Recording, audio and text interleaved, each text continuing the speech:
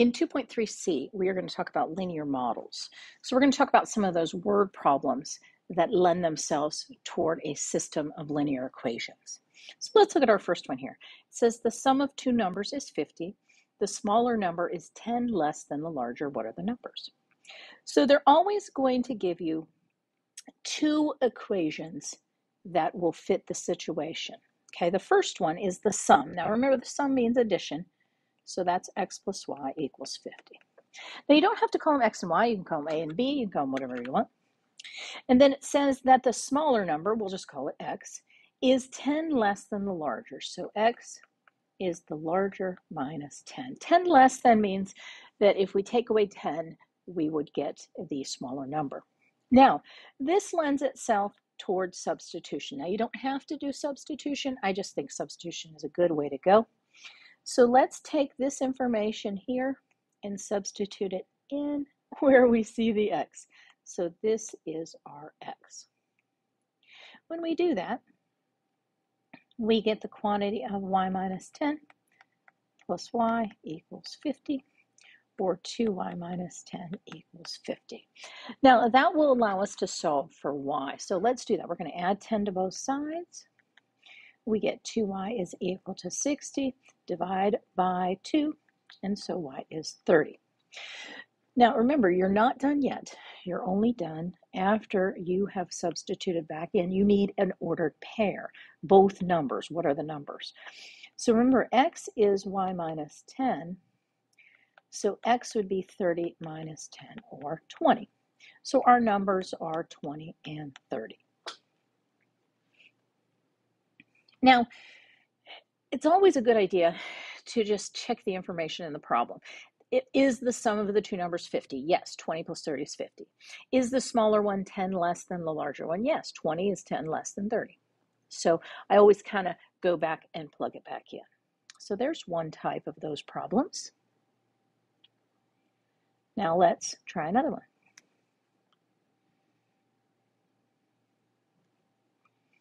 Okay. It says the Hernandez family and the Kelly family each used their sprinklers last summer. The output rate for the Hernandez family was 15 liters per hour. The water output rate for the Kelly family sprinkler was 40 liters per hour. The family used their sprinklers for a total of 55 hours, uh, resulting in a total output of 1,450 liters. How long was each sprinkler used? So let's call X the hours for the Hernandez family. And then Y the hours that the Kelly family used each of their sprinklers. Okay, so we know the total hours is 55, so X plus Y equals 55. So there's usually one piece of information about their total, and then one piece of information about their their cost or their output. So the output, remember, is 1450. We haven't used that yet. Well, if I run the uh, Hernandez's uh, sprinkler for X hours and it's 40 liters per hour, that's 40X. The Kelly sprinkler is, uh, let's see. Oh, I'm sorry. I got those switched. Let's go back. The Hernandez family is 15. The Kelly family is 40. Okay. For a total of 1450. So this is the total hours. This is the total liters, and that's the difference between those two. And now we can just use what we know about systems of equation, whatever method you want. Um, let's rearrange this one and say that y equals 55 minus x. And let's substitute in uh, right here. And so uh, that is a good method to choose. So we get 15x plus 40 times the quantity that we are going to plug in, that 55 minus x equals 1450. Distribute in a 40 to both of things in your parentheses, so distribute. 40 times 55 is 2200. 40 times negative x is negative 40x. Now I'm running out of room a little bit, but um, Uh, let's simplify this as much as we can, and then I'll continue over there. If we combine 15x uh, with negative 40x, we get negative 25x. And then if we subtract uh, 2200 from both sides, we get negative 750. And so if we divide both sides by negative 25, we get 30 hours. Now, one good way when it comes to uh, problems like this, if it's hours, if it's uh, how many uh, uh hamburgers you sold, how many, you know, thing, uh, you should get a positive number. If you don't, you know, something's gone wrong. Okay. Now remember, we know that y is 55 minus x. So y is going to be 55 minus 30 or 25. And so what do we know? Well, the Hernandez sprinkler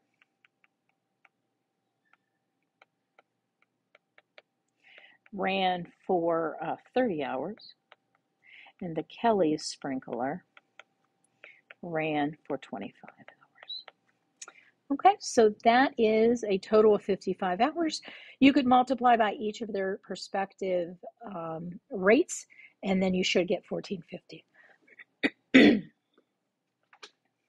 so that is uh, a problem um, that you saw uh, substitution worked pretty good.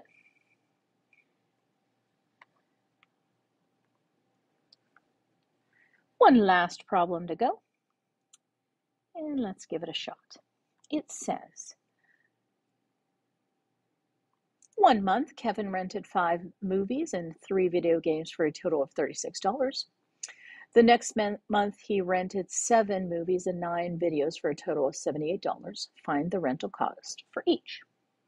So our variables are going to be X could be the movies he rented, and Y uh, would be the video games. And then we know if that's their cost, so the price of a movie and a price of a video game, better description.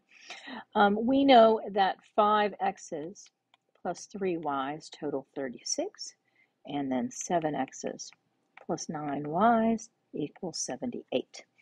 So those are our two equations. I think this is a good one to use substitution. Oh, elimination. Let's multiply this top one here by negative 3. So we get negative 15x minus 9y equals negative 108. And I'm going to just put the other equation underneath it, and then I'm going to combine. Negative 15x uh, plus 7x is negative 8x. My y's have been eliminated. Great, that's exactly what I wanted to happen. And then uh, 108 minus 70 uh, negative 108 minus positive. Let's just say that again. A negative 108 plus 78 is negative 30. And if we divide by 8, we get that a cost of a movie is 375. Okay, now that we've got that, we still need to know the cost of a video game. So um, let's substitute into this top one. Doesn't matter, they're both equally kind of yucky.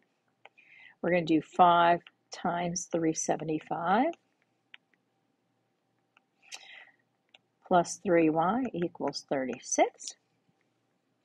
5 times 375 uh, is 1875. Subtract 1875 from both sides. We get that 3y is 1725. And if we divide by 3, we get that the cost of a video game is 575 so that is another example of some word problems related to um, linear equations. Um,